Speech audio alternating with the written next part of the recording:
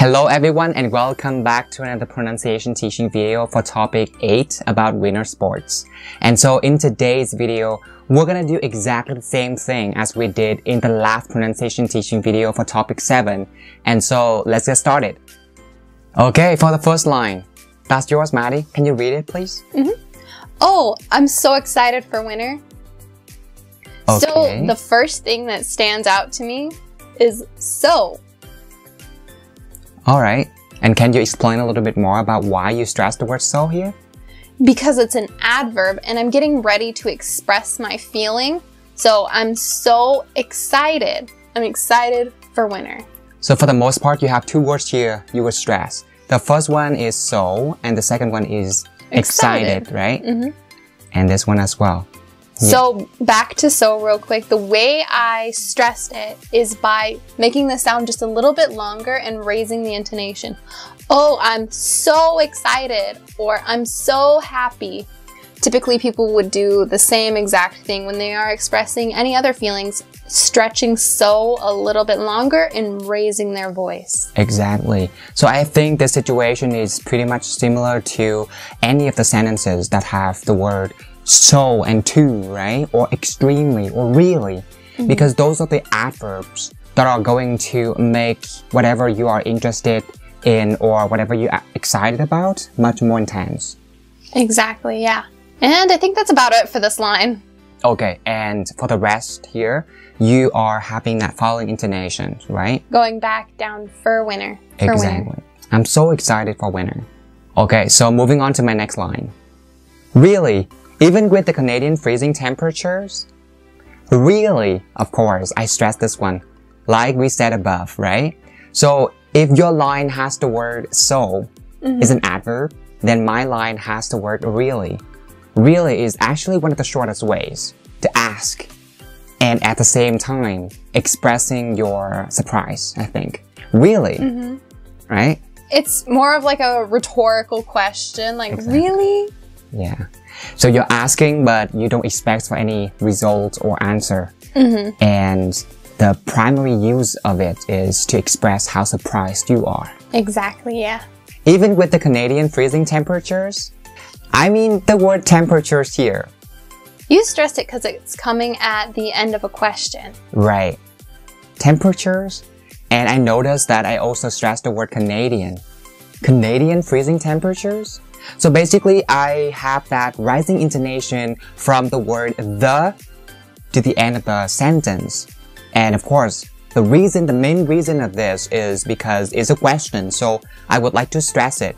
But more importantly, that I stress the word Canadian for a reason because the temperatures can be a little bit normal in other countries. But when it is Canadian freezing temperatures, it might be perceived as something that's really unique and is mainly about the cold. Exactly. Yeah, you're classifying it by region, country, exactly. however you want to describe it. So like Canadian temperatures maybe compared to Vietnamese temperatures. Exactly, right? And the other thing that I want to mention is we used Canadian instead of Canada. I think that's a really important thing to mention. So even though you're classifying the temperatures by region and country, you're still going to use the same word form as you would with describing people. So Vietnamese, Canadian, um, American. And just because you said that, so it really reminds me of another way. So we can also say Canada's freezing temperatures. But I mean, there's a slight difference between the two, right?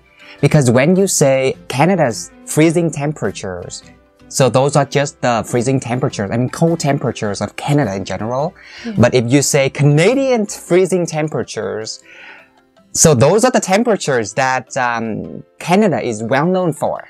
Exactly. Similar to how you maybe think about a person's personality. Oh, he's nice. So right. that's similar classification in this case, Canadian freezing temperatures. It is a characteristic of right. the country.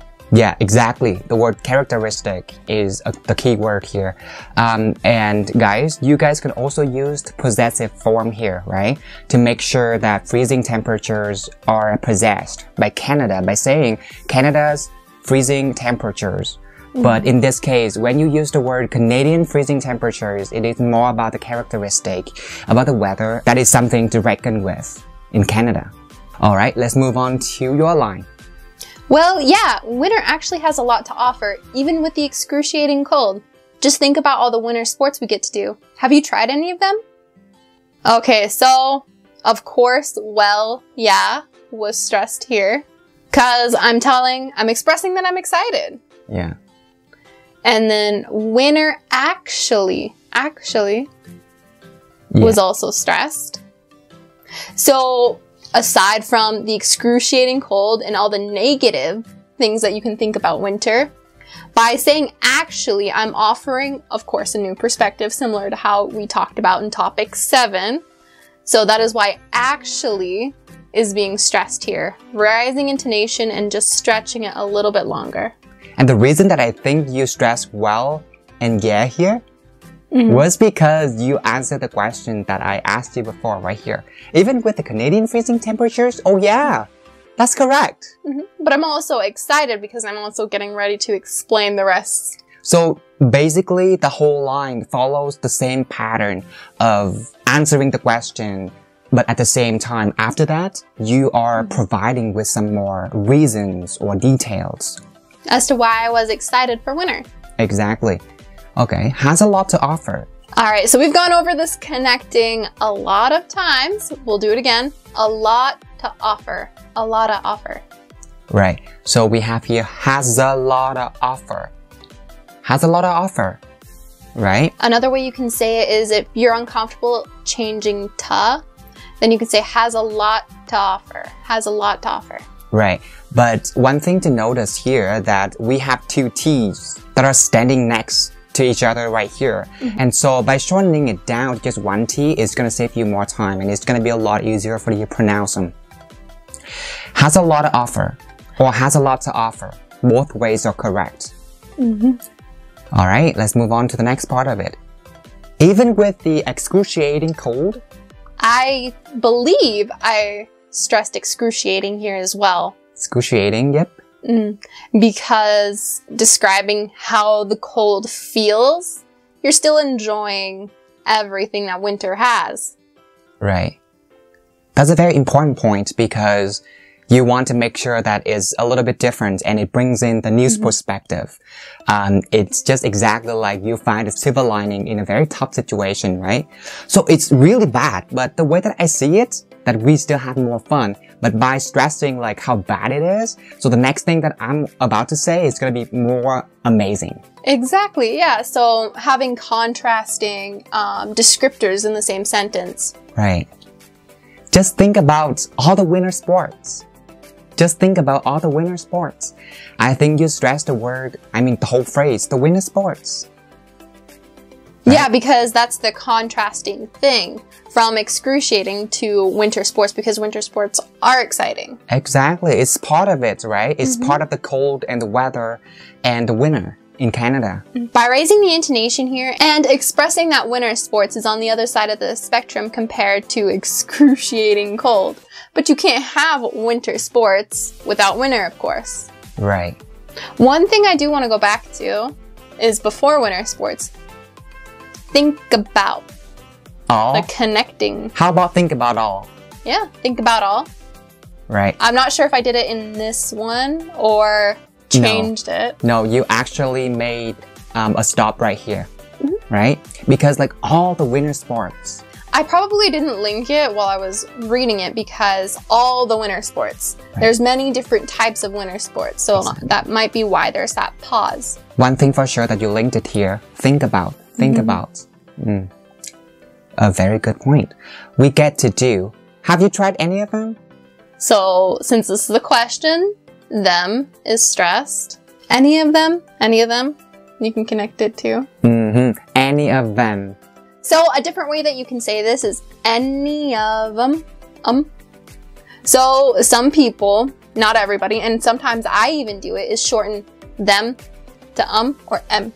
M. Right. Um or m are two different ways we pronounce them. So one explanation to make sure that you guys understand this one easily is that the th sound here is being kept silent, right? So of them. And so if we leave out the th sound here, then the word of has the v sound at the end. And so you link the v to the um sound Uh, of the word them, then you have of them.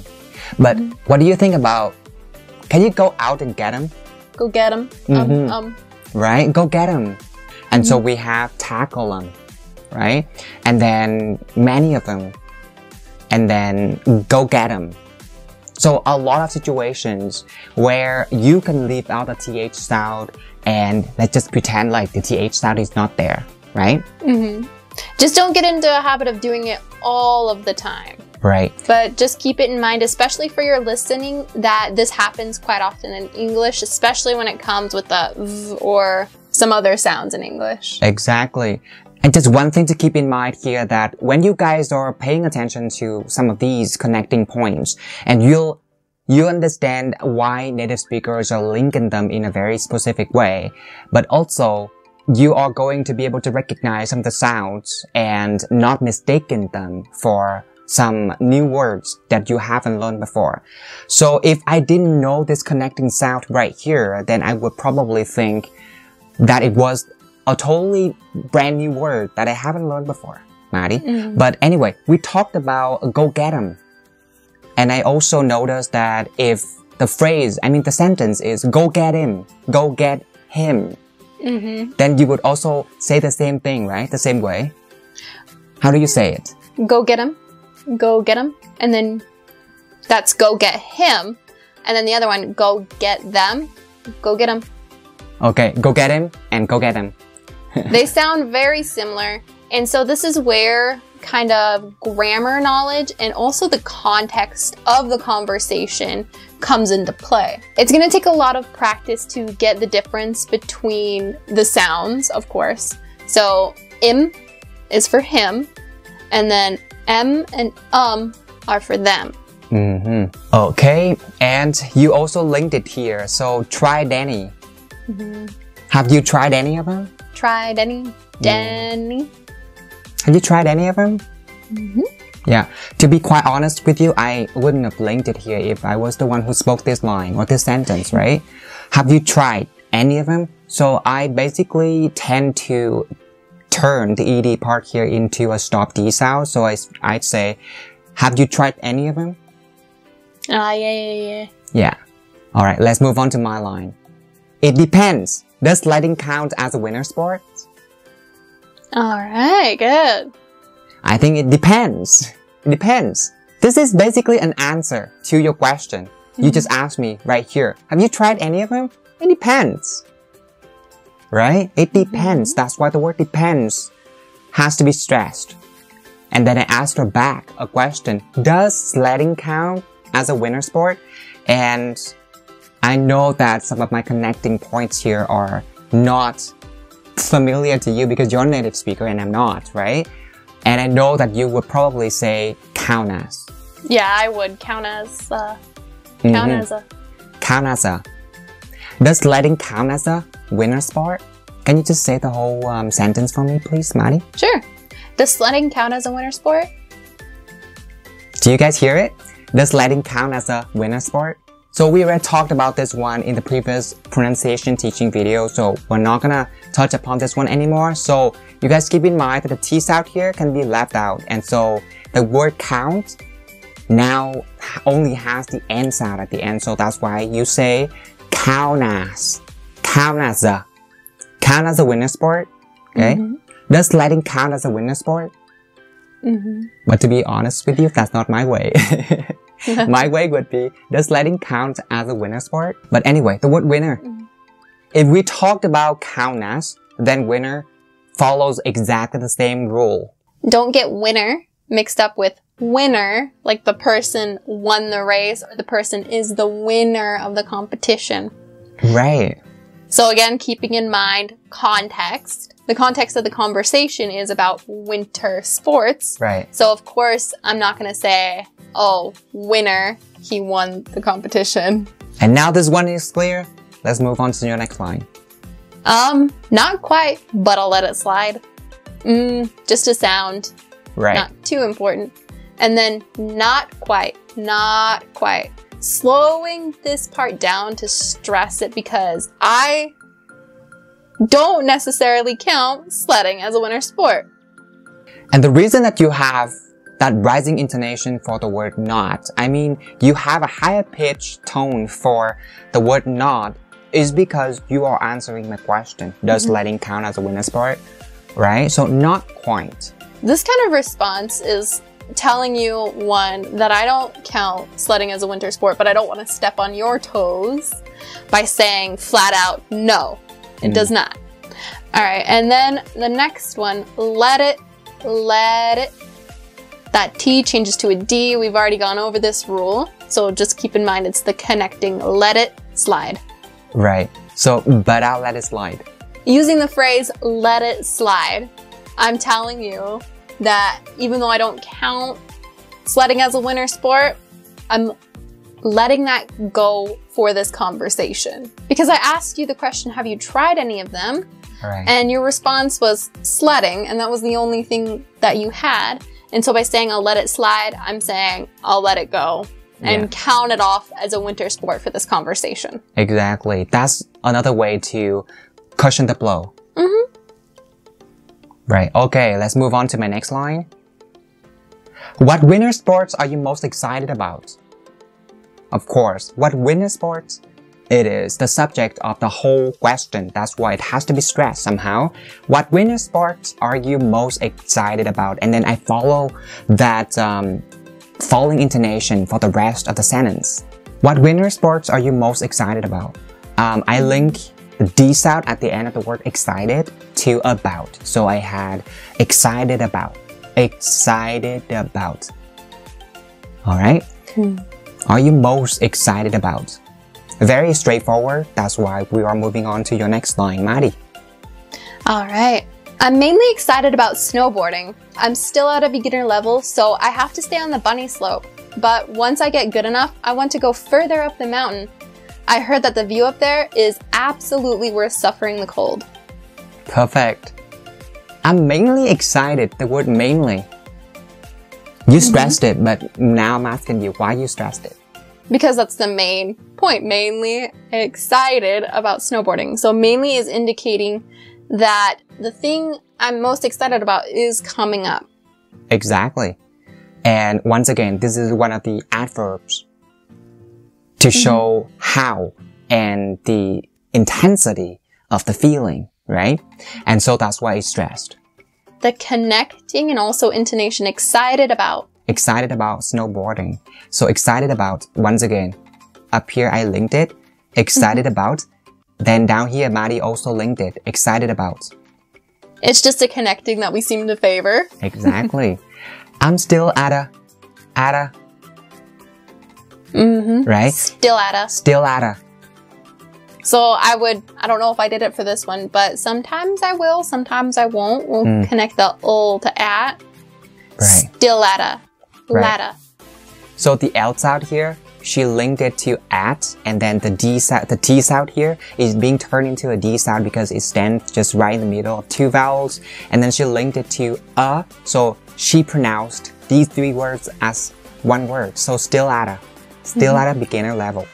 I think the next thing that was stressed is beginner level. By slowing my speed down significantly, really expressing that I'm still at the starting level of snowboarding.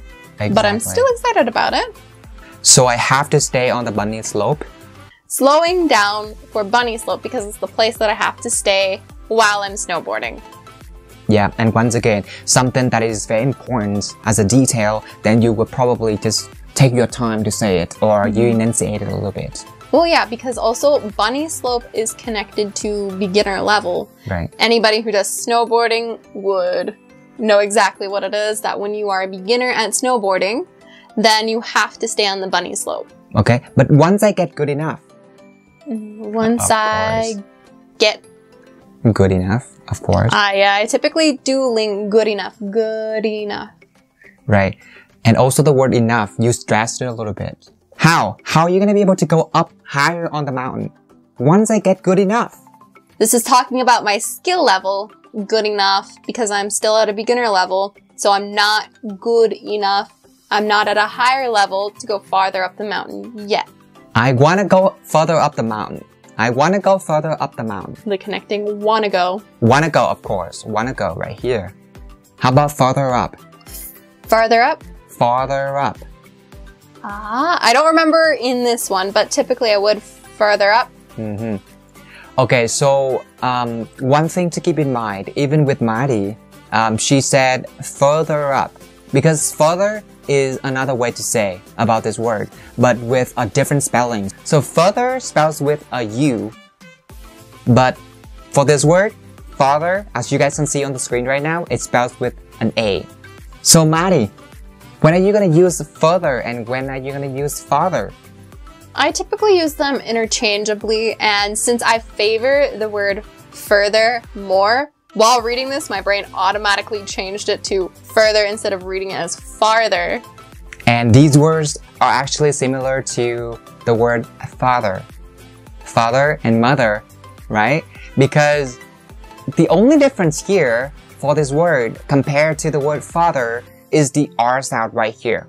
So if you say father, you really have to enunciate the R sound. So listen to them together. Farther, father. Farther, father. Farther, father.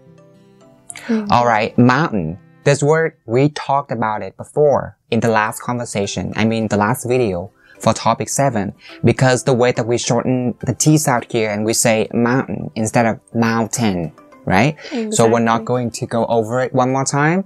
So let's move on to the last bit of the line. All right. The next thing that stands out to me is I heard that. Heard that. The stop D sound came into play, and then I went straight to that. Heard that. Right. So basically you stress the word heard because it's the main verb of this sentence. Mm-hmm. I heard that. The view up there. Heard what? The view. But where? Up there? The view up there. So rising intonation for these words. View up there. The view up there. Right? Exactly, because the overlook, the view up there, is absolutely worth. Stress a little bit. Absolutely worth suffering the cold. I think I also stressed suffering. the way that you stress the word suffering here is a little bit different compared to those words above. Um, suffering, you have that um, falling intonation, but you dragged it out a little bit. Because one, suffering is a bad thing. I, w- I Right. don't think it, you would raise your intonation. Suffering? Mm-hmm. Because then it sounds like a good thing. No. Suffering, suffering, and dropping and dragging it out because it's too cold up there. Right. Nobody wants to suffer anything, especially the cold. That's why when it comes to the word suffering, it's painful. It's a bad thing, right? But in this situation, Maddie was trying to make it as a good thing. I mean, an acceptable thing. That's why she was dragging it out to make sure that I, I got the message. Mm-hmm. Suffering the cold. Let's just read the whole sentence one mm-hmm. more time, Maddie. All right. I heard that the view up there is absolutely worth suffering the cold. right? I heard that the view up there is absolutely worth suffering the cold. So these one, two, three, four points are the most important points within this sentence, the last bit of the line. Alright, so if this line is clear, let's move on to my next line. All right. But how long would you guess it'll take you before being able to go higher up the mountain? But how long? Of course. Why? Because this is a question, right? This is the point. This is the point that I'm trying to ask. That's why it has to be stressed. Would you guess? You're also asking for a length of time. Right. How long would you guess? So how long and guess are the two points. The first two points that I stressed. It'll take you before. It'll take you before. Being able to. Being able to. Um, in the last conversation, I mean pronunciation teaching conversation that we had for topic 7, I already talked about dividing. Sometimes native speakers will divide their sentences into some kind of segments. And so it depends on how those segments contain some important points and ideas or even initiating a new idea, right? They're gonna decide to raise or have rising or falling intonation for those segments. Mm-hmm. And so within this question, I actually have how long would it, how long would you guess? This one is the first segment, right? How long would you guess? How long would you guess? Right? I have that rising intonation and then it'll take you before. It'll take you before. That's the second segment with a falling intonation. Being able to go higher up the mountain. Being able to go higher up the mountain. So basically, I am not sure if I raised my intonation or uh, dropped my intonation for the last bit of it. I mean, the last segment of it. But it seems to me that I maintain my intonation for the last bit of it. Being able to go higher up the mountain. You did. And of course, for the word mountain, I have that falling intonation for the word mountain.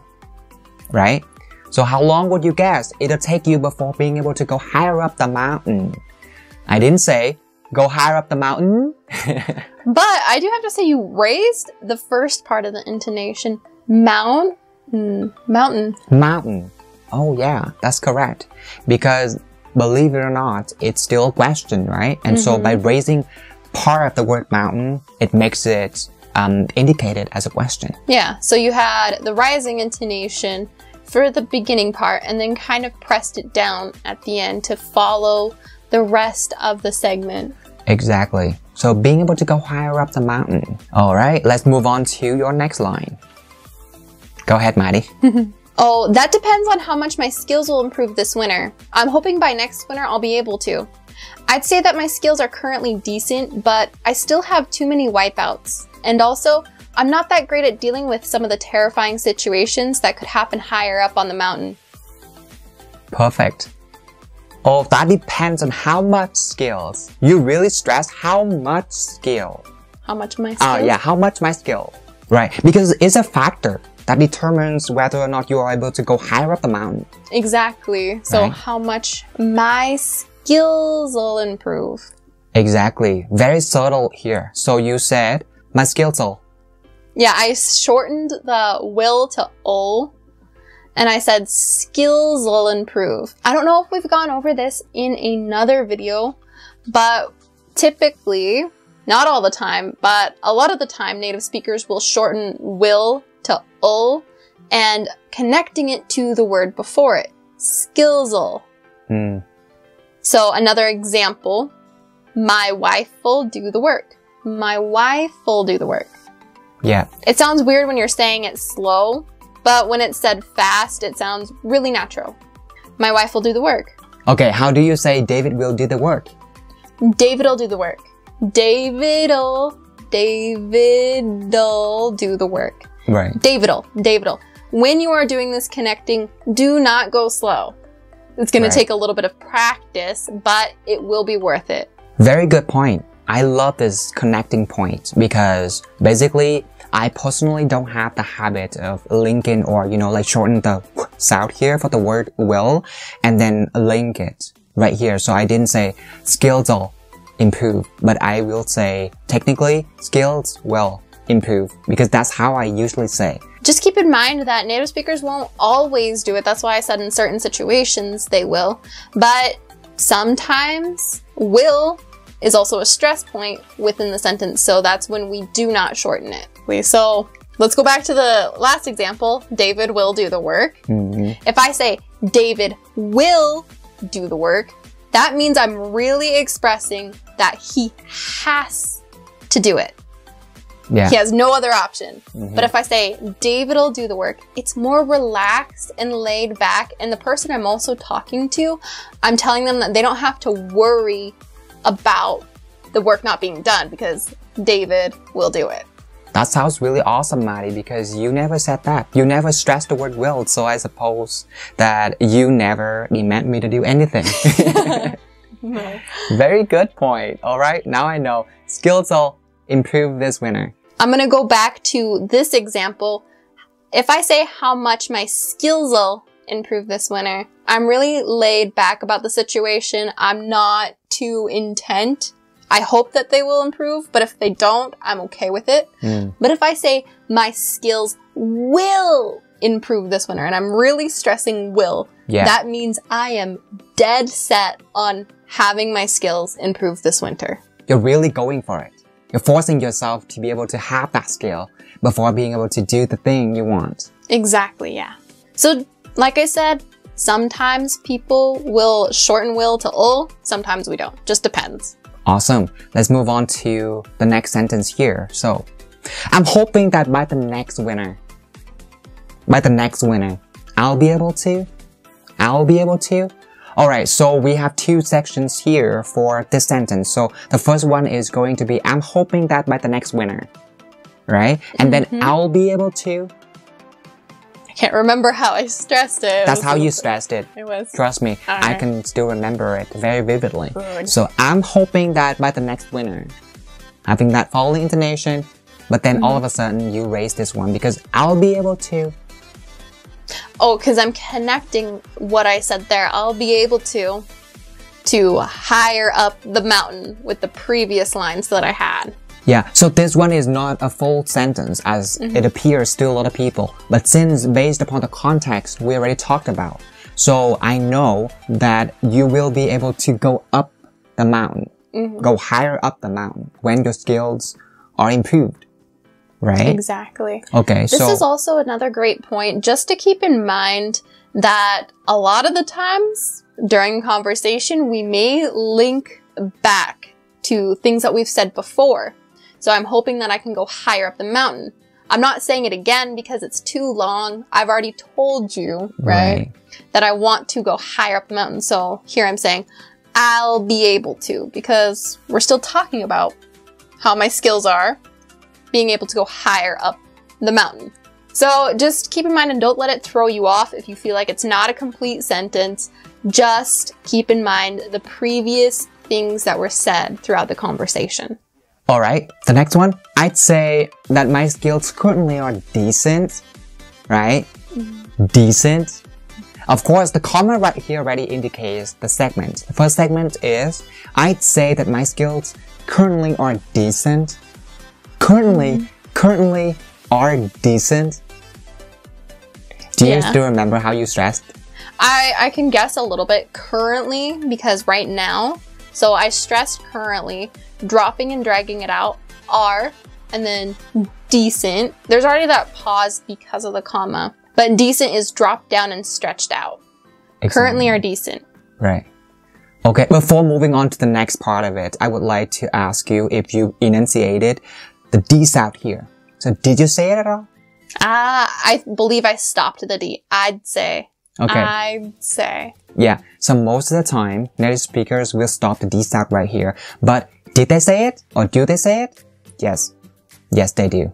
We've gone over the stop D sounds and T sounds in a previous video, so if you're unsure of how to stop the T and D sounds, go watch that video and then come back. Perfect. Alright, the next part of it. But I Connecting it, but I, but I, still have still have. Still have? It's gonna sound a little weird here, but trust me guys, native speakers are really linking it here and shorten the H here of the word have, and then they'll link it, still have. Still have too many web vowels. Right? Mm-hmm. So Madi, how do you say this one one more time? Still have. Okay, in the conversation, you didn't necessarily stress it, but I still have very distinctively.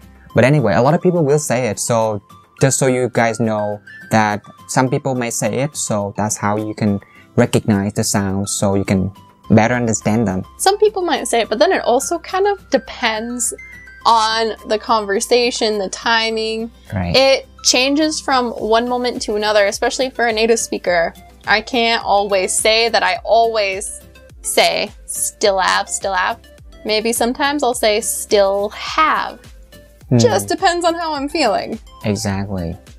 Yeah. So if the weather has four seasons, then native speakers are also unpredictable. and they go for their own choices. So make sure that you understand why they do some certain things. But there are a lot of other exceptions in the way that they use or stress or even say some certain things. Exactly, yeah. And also, and you linked it here. And also, Oh, I want to go back a little bit to wipeouts. Wipeouts. okay, I stressed this one, especially by slowing down, I believe, from what I remember. Wipeouts, because this is the thing that is holding me back from being able to go higher up the mountain. yeah, but I still have too many wipeouts. Of course, the word too, like we said above, the too here is an adverb and it shows the intensity of of what she's trying to express, right? So that's why she stressed the word too here. Mm-hmm. And moving on to the next one, and also, and also. I typically connect it here, and also, and also. I'm not that. I'm not that great. Okay, I'm not that great. Right? Mhm. So basically the word not. Right here. I'd also say that too. Not that. ah, right, right, right, right. That can be seen as an adverb. So can you explain why it stands here? And what does it mean? So, that great is setting the base standard for something. So, I'm going to be using this conversation specifically. So, by saying that great, I'm indicating that there is a standard I have to meet before I can go higher up the mountain. And currently, I'm not that great, but I'm getting there. I'm almost to that. So, it's somewhere on a different level on the scale. So changing, let's say, great to the word good, I'm not that good. That means I'm putting myself at a lower level and it's going to take me longer to reach the point that I can go higher up the mountain.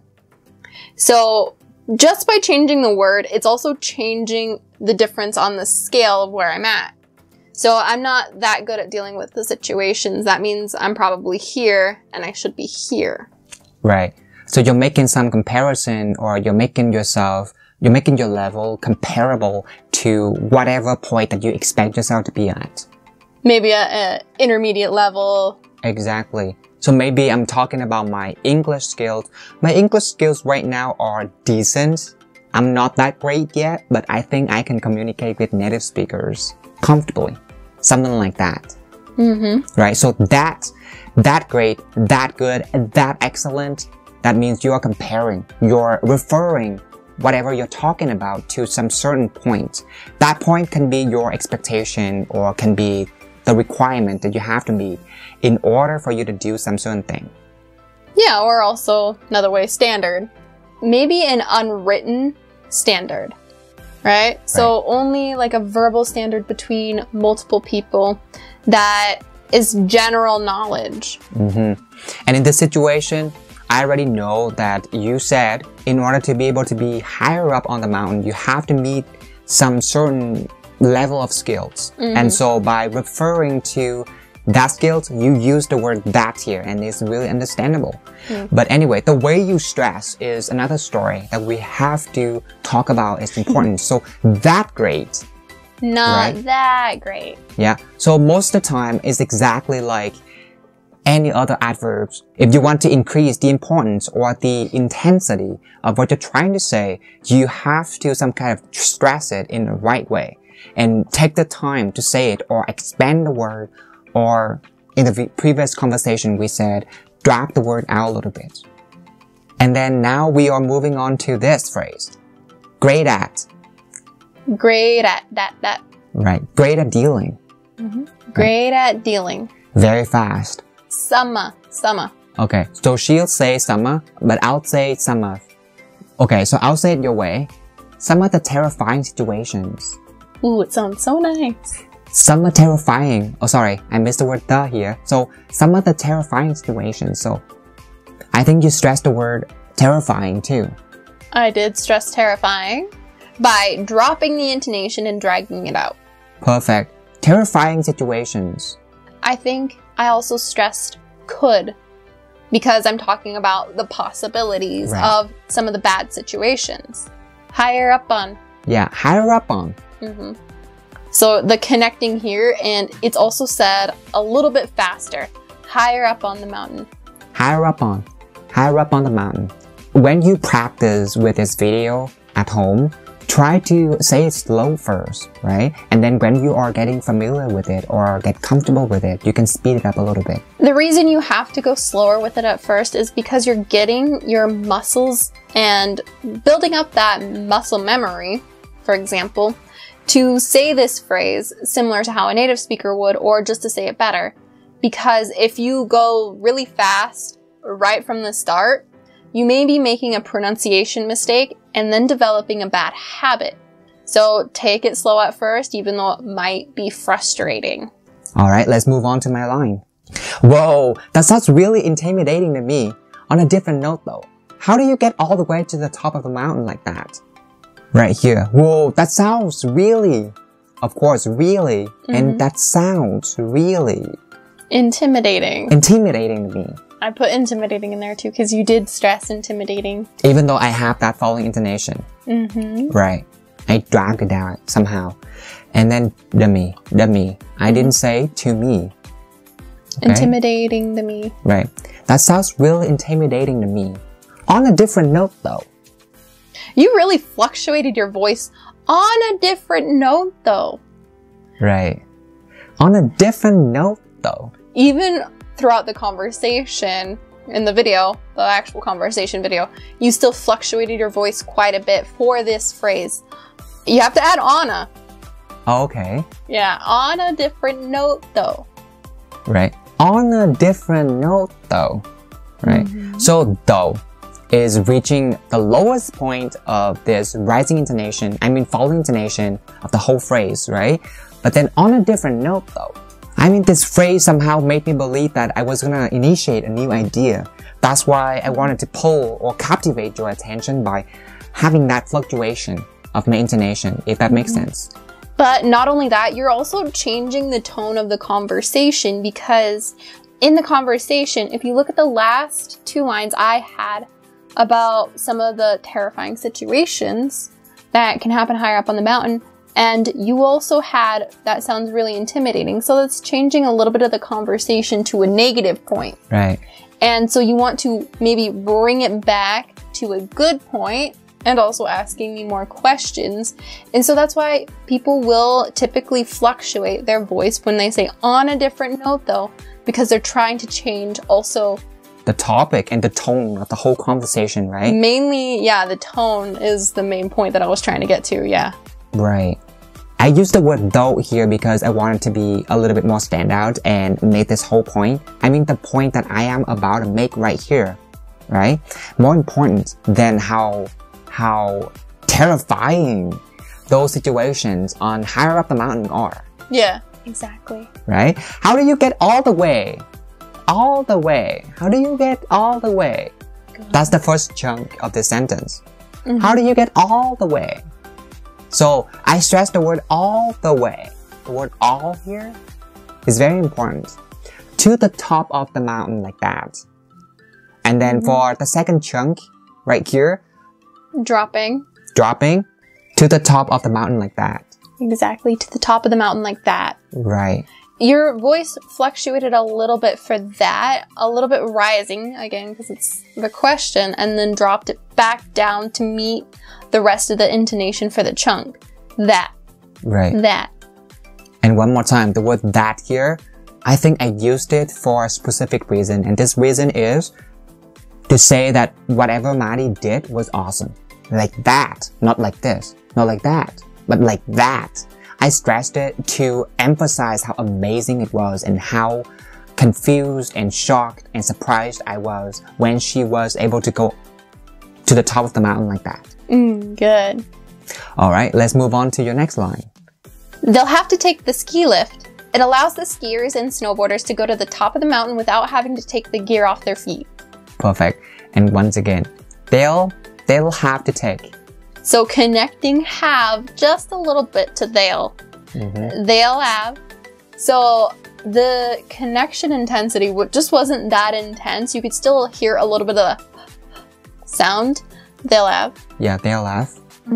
So just the connecting was not that intense when I said it the first time. Just wanted to clarify that. hmm To take the ski lift. Mhm. Right. Yeah, to take the, take the, and Okay. then ski lift. Of course.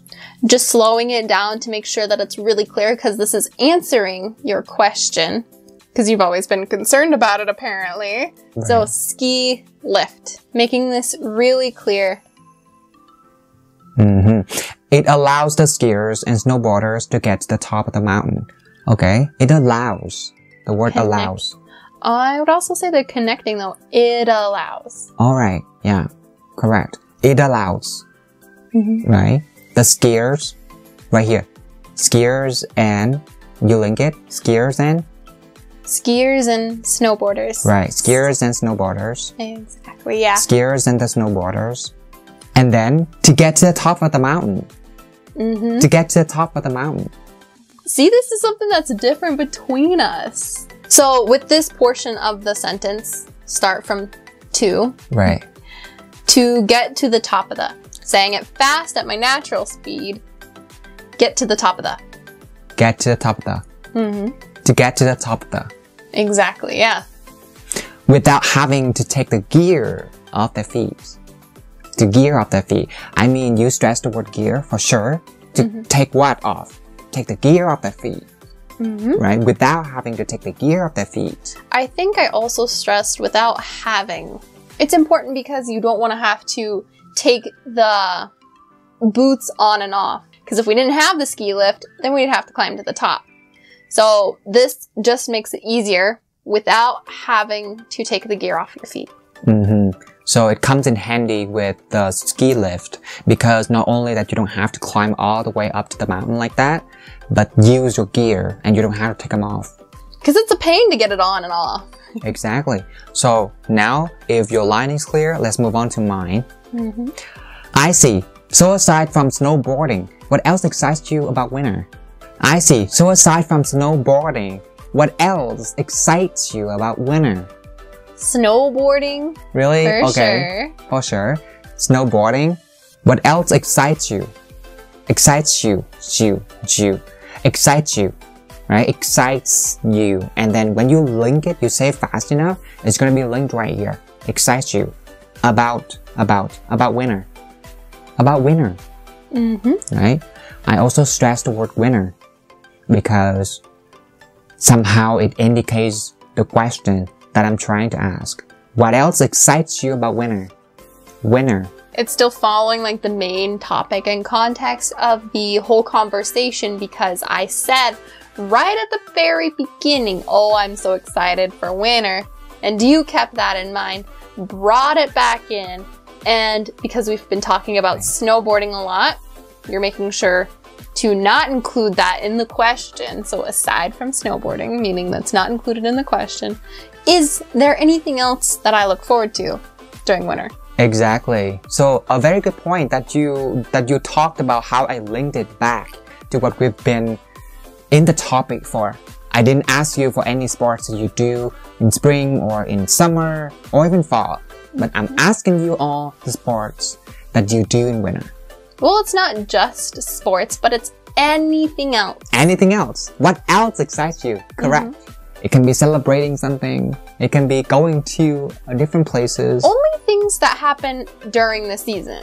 hmm All right, let's move on to your line, Madi. Long one. Being able to go sledding, ice skating, watching kids have snowball fights, and even building snowmen. All this just puts you into the spirit of the season. But along with that, with Christmas being in winter, it's just the cherry on top. How about you? Is there anything special you do for winter? Okay, being able to go sledding. I noticed that you have rising intonation for this. Sledding? Sledding, ice skating, also rising. And then you also raised your intonation for watching, Watching. kids And then snowball fight. snowball fights. The whole phrase, right? Mhm. Watching kids have snowball fights. and then last one, snowmen. and building snowman and then now you dropped So I believe all of the reasons that I stressed this is because these are all of the activities that I love and look forward to in the winter. And so I'm making it really clear that way there's no miscommunication mm-hmm. that this long list of things are the things that I'm excited about. but this is a very good way to list things as well you have all the rising intonation for all of the items and then for the last item you drop it mm-hmm. That's always the way it is. So, go sledding, up. Ice skating, up. Watching kids have snowball fights, up. And then even building snowmen. So rising intonation for each new item, hmm and then dropping for the last item. For the last item, right. That's how you list. All of this. So instead of saying alla, how I usually would, I think I said all of. hmm You said all of this. Stressing this. this and also not shortening it to how I typically would because I'm going back to everything that I just listed and I'm excited about it. So all of this. And we already talked about this before. So when you stress a certain point, the words have to be clear and enunciated. Perfect. Just puts you into the spirit of the season. Puts you into the spirit. Very fast here, the way that you said in the conversation video. Mm-hmm. So, into the spirit. So you can also say inner, inner the spirit. Into the spirit. Inner the spirit of the season. Right? Yeah. I think for season two, I did a dropping intonation. Hmm. And it was also slowed down just a little bit. Season. Season. Making sure it's really clear. Okay. Spirit of the season. Can you read that sentence one more time, Madi? All this just puts you into the spirit of the season. Okay. Inner the spirit of the season. Mhm. Okay. But along with that, I think I connected but along. But along with that, right. But it's more important to talk about the, the way that you stress it or you have that rising intonation right here. So, but along with that, So uh, the reason it's stressed here, but along with, so I'm taking everything back from the list that I just made and adding to it. There's more to it. mhm, So, but along with that, with Christmas being in winter, with Christmas being in winter, so Christmas is stressed because it's the mm. thing, and then winter, winter is still the season, the thing that we're talking about, the main topic. And the next part that is stressed, it's just the cherry on top. I know for sure I stressed this point in the video. cherry on top, right? She said this one, I mean this phrase specifically with her emotion attached to it. So it's just the cherry on top. Like, it's just an expression and I know that when you said this one, you actually try to convey some message here. So what did you really mean by saying is the, the cherry on top, Madi? So this is a kind of reference that a lot of native speakers will know. And if you ever think about like uh, ice cream sundae, right? And if there's the cherry on top, that just wraps everything together, right? So all of the ingredients come together perfectly. And so we use this phrase to kind of express how everything is so much better, right? Right. With this last item. Okay. It's just the cherry on top. quite a wordy way to explain it, but pretty clear. Right. How about you? Of course, you raised your intonation right here. How about you? Uh-huh, okay. It's a question. There was two different ways that you just said that one. How about you and how about you? Right. So I have the subtle uh here for the word about because you don't have to say how about you very, very clearly like that, right? You can also drop the uh here and say how about you? How about you? Or even how about you? About you, right? Different people in different circumstances will say this phrase differently. Just depending on how we feel. Exactly. Alright, but that's not important. The next one. Is there anything special you do for winter? Mm-hmm. Anything special? Anything special? Right? Mm-hmm. Special. Madi has a little bit of the rising intonation for the word, I mean for the last syllable of the word special. Here, Special. special. Is there anything special? Because it is important because this is something very specific that you have to be doing a certain activity. You don't do it every season of the year. It's just for winter. So special. right? Having that a little bit of the rising intonation on the last syllable of the word special to indicate is a question.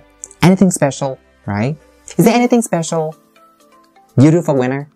All right, I think everything's clear. Everything is clear. Let's move on to my next line. Not particularly. aside from sledding a few times, I don't usually participate in anything, especially related to winter. But I would like to try something new. I think ice skating, dog sledding, snowmobiling, and riding the gondola in winter all sound really good to me. And actually, these activities have been on my bucket list for a long time. Hmm. Not particularly. Well, okay, before we get started, right. I want to ask them Right. Did you clearly hear the things listed and how the intonation happened? I think that's one of the most important points. You made a list and still followed the same rule that we pointed out in the one above. Ah, you're talking about ice skating, dog sledding, and everything that I listed here? Yeah, so before we get started on like anything else, I wanted to ask them if they could clearly hear it. Right. So I said ice skating, dog sledding, snowmobiling, and riding the gondola. Why? Riding the gondola. Gondola. Gondola. You really pressed this and you were really firm with gondola, indicating the end of the list. Right. Riding the gondola. Mm-hmm. So everything was really, really clear while you were making the list. So I think highlighting it really quick ice skating, dog sledding, snowmobiling, and riding the gondola. Sorry, that was just the first thing that I wanted to kind of talk about because it ties in with the last line. Exactly. No, that's very important to talk about first. But let's go back to the very first one. Mm-hmm. Not particularly. Not particularly. Of course, the word not. I stressed it because this phrase also contains two words, not and particularly. And so not is actually the answer that Madi is looking forward to mm-hmm. hearing, right? So not particularly. Aside from sledding a few times. And your voice fluctuated for a few times. hmm Aside from sledding a few times. This is kind of like showing that you're recalling that you didn't do it too often, but you might be able to count on one hand how often you've been sledding. So Yeah. a few times. I don't usually participate in anything. I don't usually, of course, the word don't, I stressed it 1st and then participate in. Exactly. I linked them here, so participate in anything. Changing that T right there in between participate and in to a D sound, because again, it follows the rule. Participate in anything. Exactly. Participate in. Mm-hmm. Especially, especially related to winner. Okay. Participate in anything, especially related to winner. You stressed especially. Especially Mm-hmm. Of course. Like we said about this word before in the last conversation. And so especially is actually the word that we use to start or initiate a new idea, right? Or to let that person know about a new piece of information. That's why. Related to winner. Specifically. Related to winner. So Madi, how do you say it here? Related to winner. related to winner. Okay, but I personally say related to winner because not only that easier for me to say it that way, but also just because for me the T sound here is standing not in front of two vowels. I mean in the middle of two vowels. Mm-hmm. That's why it can be turned into a D sound.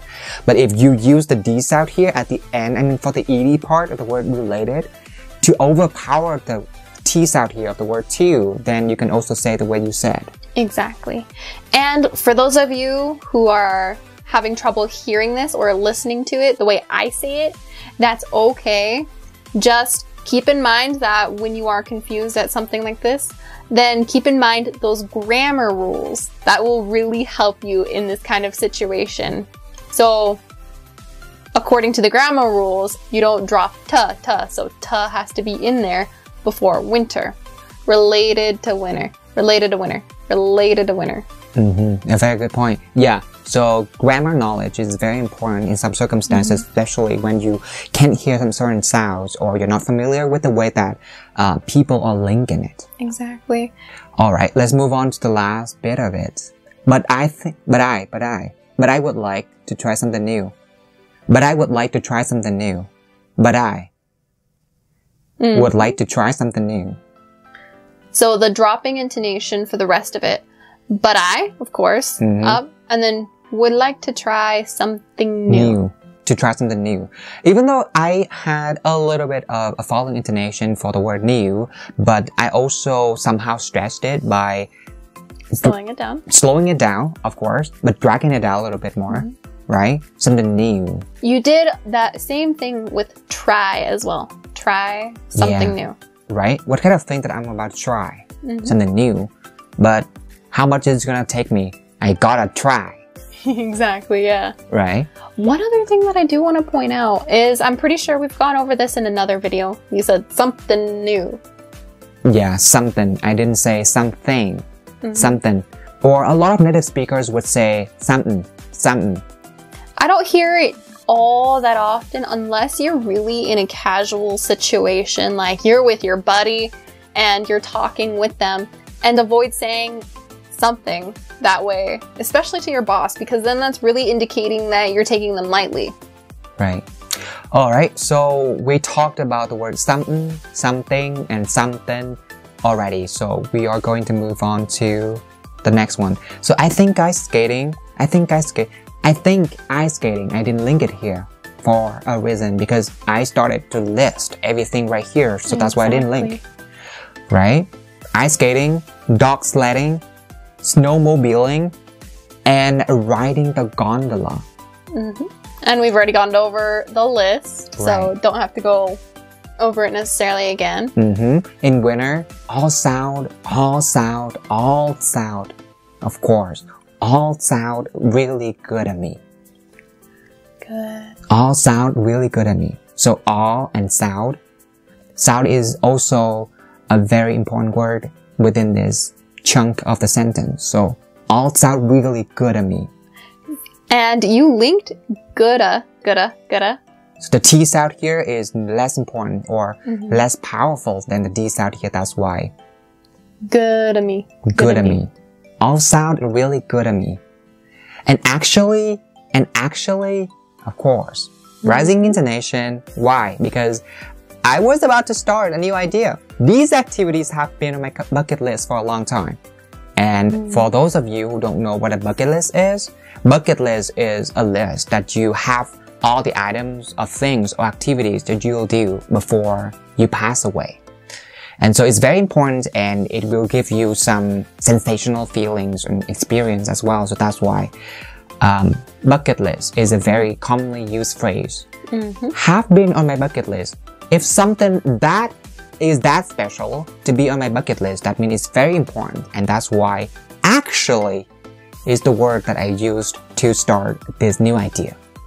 Exactly. I want to say really quickly that the other points that you stressed is also activities. Linking it back to the things that you listed, these activities have been on my bucket list. So you're telling me the things that you just listed out are activities on your bucket list. right? These activities, right? Activities, even though I have that falling intonation, mm-hmm. but I dragged it out a little bit and enunciating it. Yeah. And the other part is for a long time. For a long time. For a long time. Yeah, for a Yeah. long. How long is it? Really long. For a long time. Haven't done it yet, so it's been on your bucket list for a long time. Okay, so I'm just gonna say this phrase, I mean this sentence one more time. And actually, these activities have been on my bucket list for a long time. Alright, let's move on to your next line, Madi. All right. Okay, right here. Sounds like quite the bucket list. You can actually cross ice skating off this winter. Calgary has an ice skating rink in the city center. They provide the skates and everything. Alright, sounds like quite the bucket list. Quite. Quite, quite, yeah. Sounds like quite the bucket list.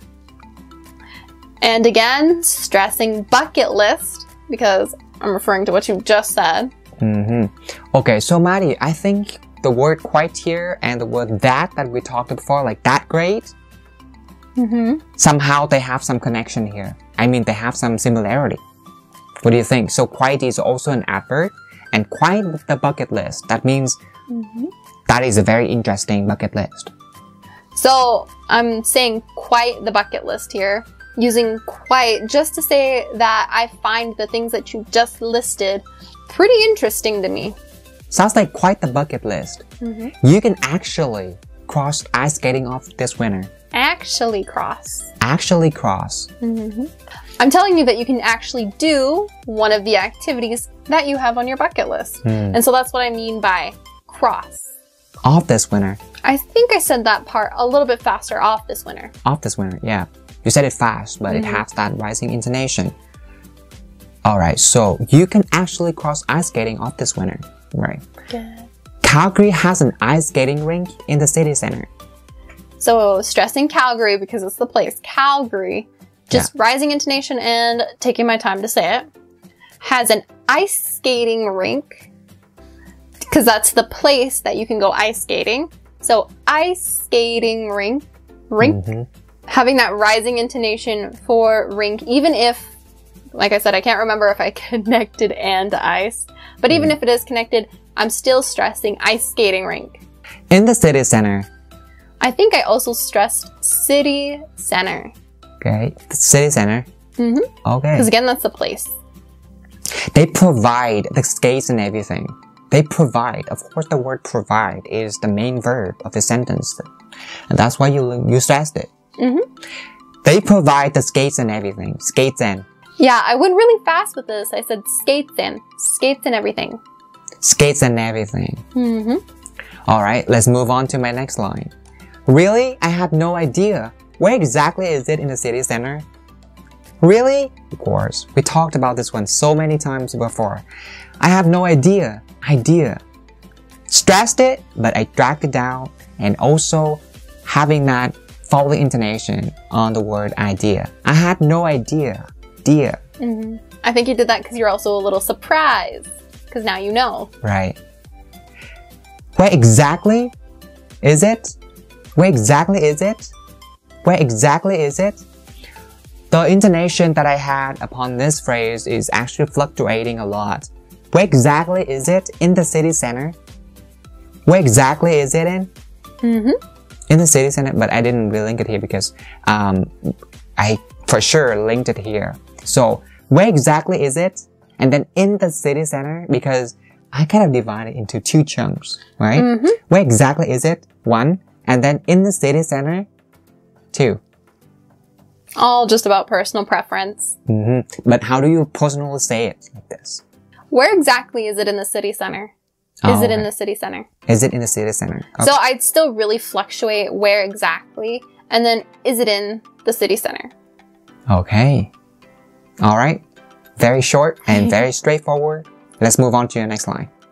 It's in Olympic Park next to Bow Valley College. They convert that swimming fountain thing into an ice rink. Oh, but it isn't just ice skating they do there. They also have curling, hockey, and an inner tubing event. So the very first one, Olympic Park. Mhm. Stressing Olympic Park because that's the place that you can go ice skating, and Mhm. also stressing next to Bow Valley College. to make it more specific, hmm right? Kind of give more information for me to understand where it is. So just in case you didn't know where Olympic Park was, but maybe you know where Bow Valley College is. And Mhm. so that is why it is stressed here. Exactly. So next to, right here, Bow Valley College. right? So these are the details. That's why you stressed it. Mhm. It's in Olympic Park next to Bow Valley College. And I also didn't go extremely fast here either because the details have to be clear because I'm giving directions. Exactly. You didn't want me to re-ask you, right? Mm-hmm. All right. They convert that swimming fountain thing. Stressing, but also taking my time with swimming fountain thing because I don't know what it's called. It's Right. a swimming fountain, but then it's also doubling as an ice rink. Mm-hmm. And then swimming fountain thing into an ice rink. An ice. rink. Into an ice rink. So I did connect an ice here, an ice rink. Right. An ice rink. Into an ice rink. Mm-hmm. Oh, Just because I'm recalling something. Oh, oh. So it is kind of emotional because, like, just realize that there's another detail.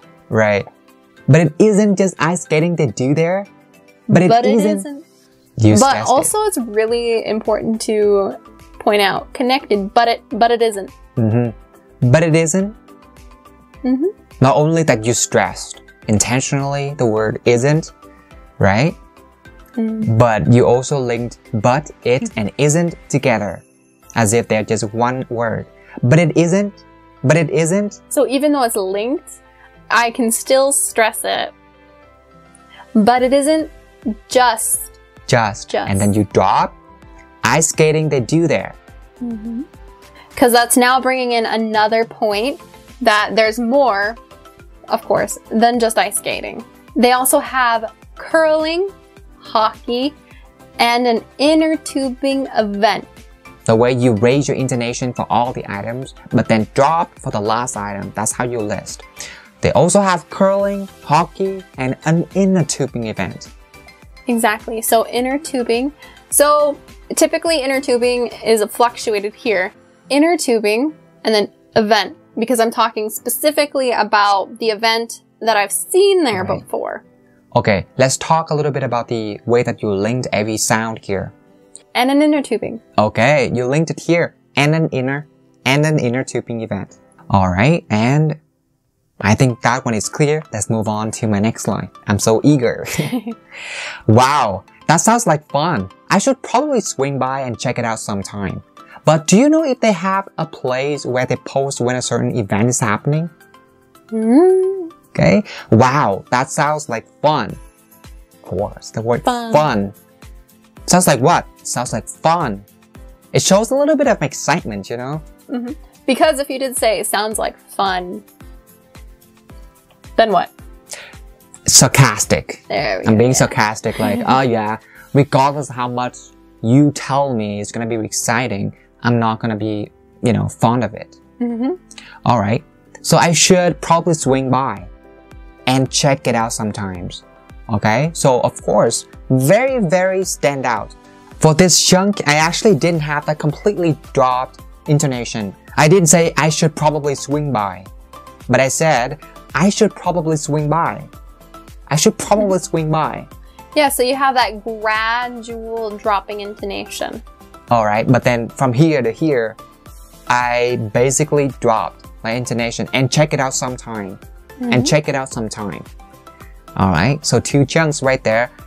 I should probably swing by and check it out sometime. But do you know if they have a place where they post when a certain event is happening? But do you know, of course, Mhm. do you know? It's a question. I raised it to indicate it's a question. Do you know if they have a place kind of dropping a little bit? But then you're also really taking your time for each and every single word because you're curious. And so you have to make sure that the question's clear to me. Right. Where they post, where they post, okay, have a place. You link, have a, have a place. Where they post, when a, when a, I wanna, yeah. when a certain event, certain, don't say certain because it's gonna be more work. When a certain event is happening. If you follow all the rules that we talked about for the word mountain, winner, or even interview, then you can say in event, you leave out the T's out here and you say ev- event is, event is happening. You don't even have to say event is, right? Mm-hmm. When a certain event is happening, of course, the word happening has to be raised. Why? Because it's a question. I think everything's clear. Alright, let's move on to your next line. Yeah, you can find everything you need on the city's website. I think there's also a Facebook group that posts current events for the city as well. But I'll have to double check. I'll keep you updated when I find it. Wow, you read it so fast. yeah, you can find everything. Find everything. Find everything. Yeah, you can find everything you need on the city's website. You can find everything you need. So everything, I fluctuated it here because I'm encompassing all of your questions, all of the events, everything you need. Yeah, so what can I find on the website? Everything. Mm-hmm. Whatever you want, you can find on the website. Okay, you need on. Need on? Yeah, connecting it need on. Right. You can find everything. And also use, did you link it here? I think so. Find everything. Because I Mhm. said this sentence really fast. You can find everything you need on. Right. Find everything you need on the city's website. So this is the possessive form, the city's website. Why? Because the website belongs to the city. So we have to say cities. So be careful and do not miss the S. Cities, cities website. Hmm perfect. I also think that there is a Facebook group. I also think, I also think because I'm adding more information, there's not just the city website, but there's more places that you can find information about what's happening within the city. But I also think there's a, there's a, that's connected. And then the way I stressed Facebook group. Facebook group. I took my time with this.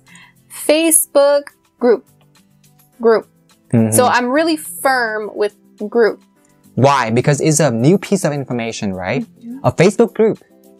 And it also has to be really clear. That way you also know and there's no miscommunication about where you can find this information. Okay.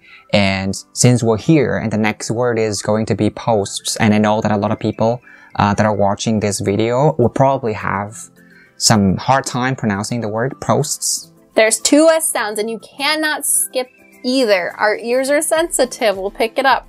And moving on to the next thing. Current events for the city. Current events for the city. So dropping intonation, mm-hmm. dropping intonation. Current events for the city as well. Moving on. So rising for butt out and then dropping back down just a little bit for have to, have to. Double check. Taking your time to really say double check. Yeah. have to double check. This has to be clear because it's showing that I am unsure of this last piece of information. So I have to take a second look at it and see if I can find it. I'll keep you updated when I find it. Exactly, because I'm telling you and I'm communicating with you that first I'm going to look. Hmm. Once I do see the Facebook group is there, then I'm going to tell you about it and maybe send you a link. Very good. The next line. Perfect, Madi.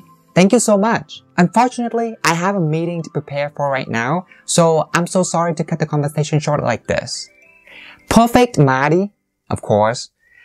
The word perfect, stress. Why? Because I wanted to let her know that every piece of information that she just gave me was awesome.